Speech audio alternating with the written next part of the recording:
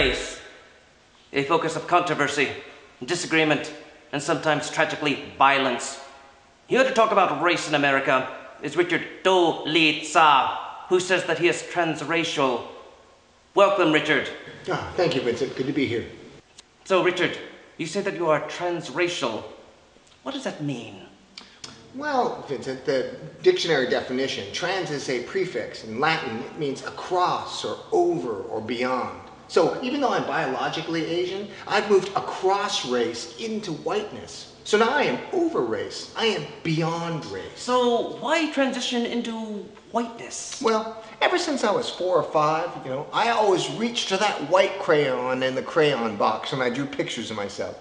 Which was awkward because I was drawing on a white piece of paper, so my teachers thought I wasn't drawing or anything, and then they held me back for incomplete assignments, which was traumatic. Mm, and how did your parents react?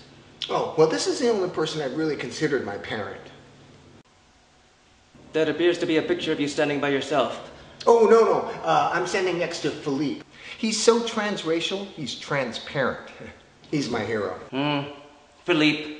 So, why do you want to be white? Well, I love everything about whiteness. You know, I love the hair, I love the freckles, uh, you know, I love the power.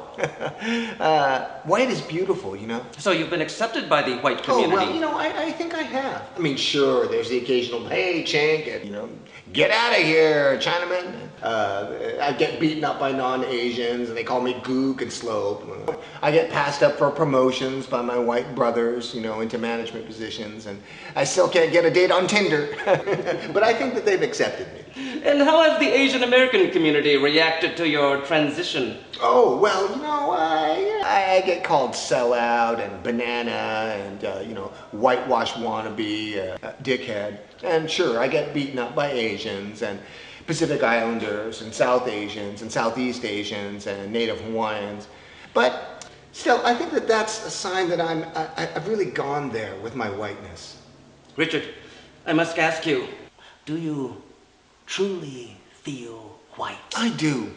I feel like I've truly experienced whiteness. You know, when I go into a store, nobody follows me around. I can get a cab any time of night. I don't get pulled over by the police and shot. Although one time I did get pulled over for firing my gun out my car window. But once I explained to them that I was just celebrating the victory of my favorite polo team, they let me go. You know, some would say that this is not so much of a sign of your relative whiteness or Asianness, but of anti-blackness. that you are just benefiting from not being black. You know, what people don't understand, Vincent, is that how hard it is for me. That it is so very, very lonely feeling white inside and feeling oppressed and limited by biological definitions of race. Yes, and someone said that you're borrowing the language of the transgender community and creating a false analogy equating race with gender and sexuality. Well, haters gonna hate. no, but seriously, I, I, think that once I have the nose surgery and the eyelid surgery and the skin lightening treatments, I think that all that negative criticism is really just gonna wash away. Mm. So, what is in the future for you? Well, once I fully transition into whiteness, I plan on transitioning into blackness. Into blackness? Oh yeah, black is beautiful. Besides, I think it's the ultimate expression of whiteness to want to be black and really go there with that experience. Well, why not just transition directly into black? Well, that would be racist.